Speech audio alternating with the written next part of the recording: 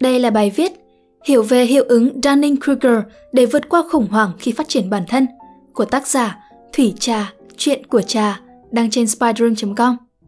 Và mình là Khánh Linh, chúng ta cùng nhau bắt đầu bài viết này nhé.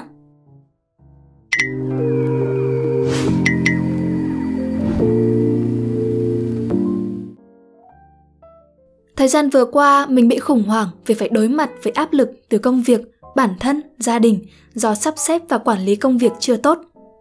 Tuy nhiên, sau thời gian tìm tòi, học hỏi và cải thiện hiệu suất của bản thân, mình đã dần lấy lại sự cân bằng.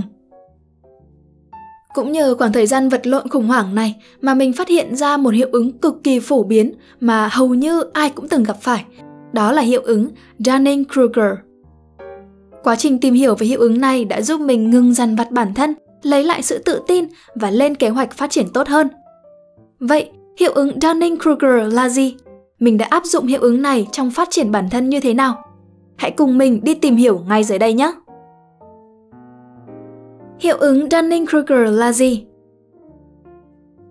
Theo Wikipedia, hiệu ứng Dunning-Kruger là một dạng thiên kiến nhận thức, tiếng Anh là cognitive bias. Trong đó, mọi người đánh giá khả năng nhận thức của họ cao hơn năng lực thực tế. Sự thiên vị nhận thức này chịu ảnh hưởng của ảo tưởng tự tôn, tiếng Anh là illusory superiority, xuất phát từ việc mọi người không thể nhận ra sự thiếu khả năng của họ, không có khả năng tự nhận thức về siêu nhận thức mọi người không thể đánh giá khách quan năng lực hoặc sự bất tài của họ. Hiệu ứng Dunning-Kruger được hai nhà tâm lý học là David Dunning và Justin Kruger nghiên cứu vào năm 1999. Họ đạt giải Nobel về tâm lý học năm 2000. Theo đó, họ đã thực hiện rất nhiều thử nghiệm để kiểm tra khả năng logic, cách diễn đạt và mức độ hài hước của những người tham gia. Kết quả thu được từ nghiên cứu của Kruger và Dunning bao gồm người bất tài có xu hướng đánh giá quá cao kỹ năng, trình độ của mình. Người bất tài không nhận ra năng lực của những người thực sự sở hữu nó. Người bất tài không nhận ra mức độ bất tài của họ. Nếu đào tạo những người này dẫn đến một sự cải thiện đáng kể về kỹ năng của họ, thì họ có thể nhận ra và chấp nhận những thiếu sót trước đây. Hiệu ứng này hoạt động như thế nào? Nếu như mà bạn vẫn chưa thể hình dung hiệu ứng Dunning-Kruger hoạt động như thế nào, thì hãy theo dõi đồ thị này nhé. Giai đoạn 1, không biết gì, know nothing. Khi không biết gì về một lĩnh vực, bạn sẽ cảm thấy sự yếu kém và thiếu sót của bản thân. Sự tự tin của bạn lúc này chỉ là con số không. Điều ấy thôi thúc bạn học hỏi và tìm hiểu thêm về vấn đề này. Giai đoạn 2, đỉnh cao của sự ngu ngốc, pick of Mount Stupid.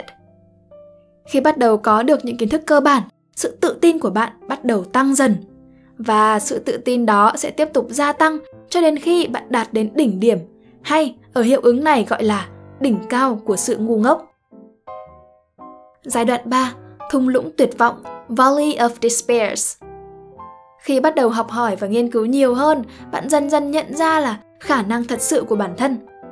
Bạn bị mất sự tự tin, rơi vào sự buồn bã và thất vọng. Giai đoạn 4.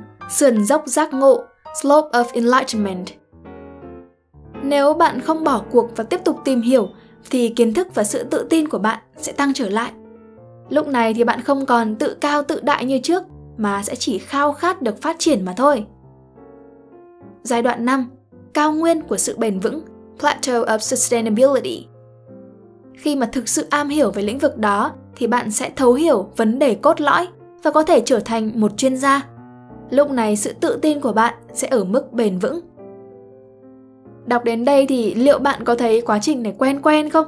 Giống như là mình đã từng trải qua nó. Nếu bạn đã từng đánh giá cao trình độ của bản thân khi bước vào lĩnh vực mới, không nhận ra được năng lực của những người thực sự sở hữu nó, không nhận ra được sự thiếu sót của bản thân, thì chính bạn đang rơi vào hiệu ứng Dunning-Kruger. Vậy thì hiệu ứng Dunning-Kruger có xấu không? Ai là người dễ ảnh hưởng? Chúng ta sẽ cùng tìm hiểu ở phần tiếp theo nhé. Ai là người bị ảnh hưởng bởi hiệu ứng Dunning-Kruger? Tin buồn là tất cả chúng ta đều ít nhất một lần bị ảnh hưởng bởi hiệu ứng này. Bạn hãy nhớ về lần đầu tiên học tiếng Anh. Có phải là bạn cũng đã từng rất là hâm mộ những người nói tiếng Anh trôi chảy? Sau đó bạn quyết tâm đăng ký một khóa học hoặc là mua sách để bắt đầu cải thiện kỹ năng của mình. Sau một thời gian, bạn đã có thể tự tin giao tiếp những thông tin cơ bản. Đó cũng là lúc mà bạn cảm thấy những người khác nói tiếng Anh sao mà nghe chán thế, nói không đúng ngữ âm ngữ điệu gì cả. Đây chính là lúc mà bạn ở đỉnh cao của sự ngu ngốc. Tiếp đến, bạn gặp một người nước ngoài. Sự tự tin thúc đẩy bạn tới và trò chuyện với họ. Nhưng mà hỡi ôi, càng nói chuyện bạn càng không nghe không hiểu được họ nói cái gì cả. Bạn bắt đầu thất vọng và nhận ra khả năng thực tế của bản thân.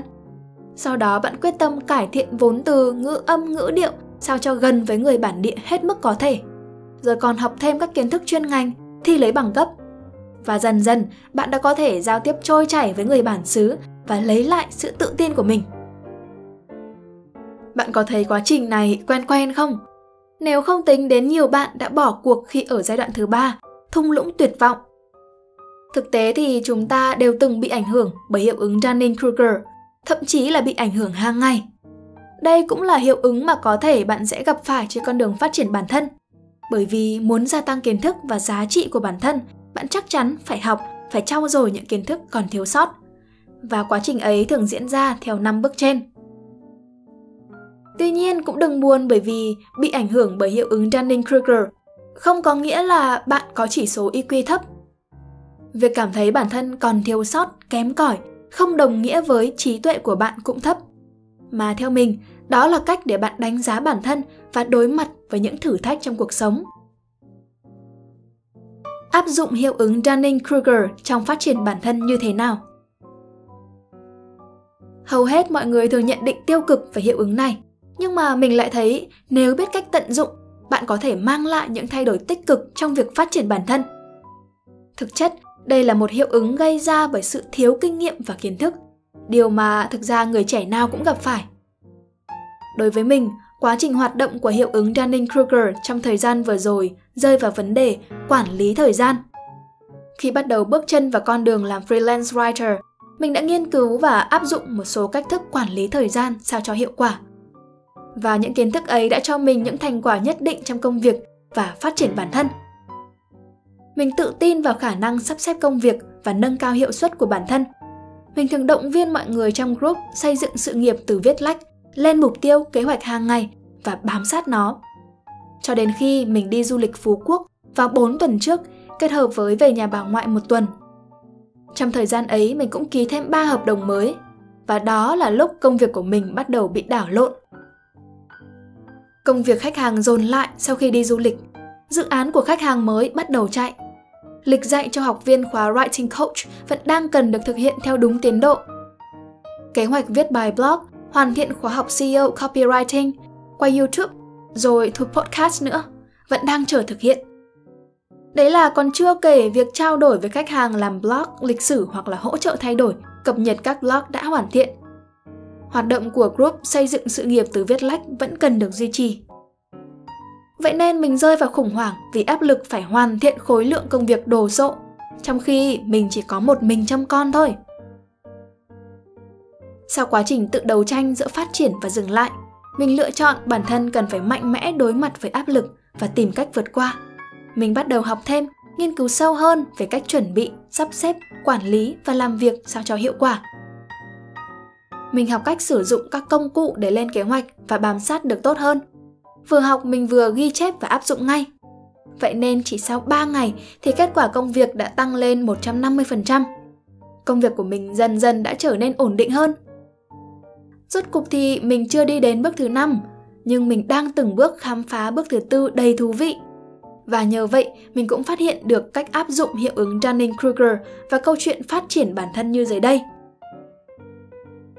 sau khi lựa chọn học thêm một lĩnh vực mới nào đó, tức là giai đoạn 1, và đã có một lượng kiến thức cũng như là sự tự tin nhất định, hãy tận dụng cơ hội này để bắt đầu phát triển các dự án cá nhân, chính là giai đoạn 2.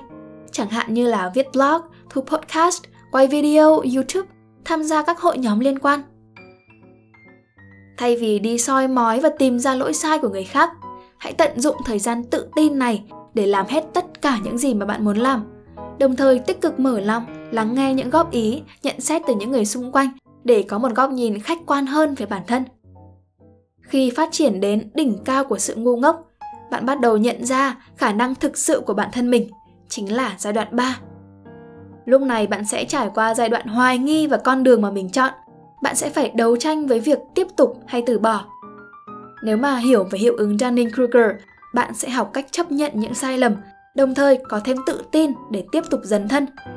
Bởi vì chỉ cần vượt qua được thung lũng này, bạn sẽ xây dựng được cho mình sự phát triển vững chắc. Tới giai đoạn 4 hãy chuẩn bị cho bản thân một tâm thế sẵn sàng học hỏi với bất cứ ai, từ bất kỳ đâu. Hãy bắt tay và nghiên cứu những nội dung sâu hơn cũng như là áp dụng vào thực tế cụ thể hơn. Đồng thời học cách thiết lập tư duy phản biện. Luôn đặt câu hỏi về những gì mà bạn biết để thử thách suy nghĩ, niềm tin và kỳ vọng của mình. Để rồi dần dần đạt đến cao nguyên bền vững và trở thành chuyên gia của lĩnh vực đó. Từ bây giờ, mỗi khi bắt đầu học về một lĩnh vực mới, hãy chuẩn bị tâm lý để vượt qua giai đoạn khủng hoảng của hiệu ứng Dunning-Kruger bằng cách quan sát và nhìn nhận hành động tâm lý của bản thân. Bạn có thể tìm ra cách khắc phục giai đoạn 2 và 3 tốt hơn. Và cuối cùng, trên con đường phát triển bản thân, hãy luôn nghĩ rằng mình là một người mới, để rồi luôn phải tiếp tục học tập và trau dồi như Steve Jobs đã từng nói. Stay hungry, stay foolish. Hãy cứ khát khao, hãy cứ dại khờ. Hy vọng rằng các bạn sẽ thích video lần này. Đừng quên ấn like, share và ấn subscribe để ủng hộ chúng mình nhé. Và nếu các bạn cũng thích những nội dung như trên, hãy đăng nhập vào website của nhà nhện là spiderroom.com để tìm đọc thêm nhé. Và mình là Khánh Linh. Bye!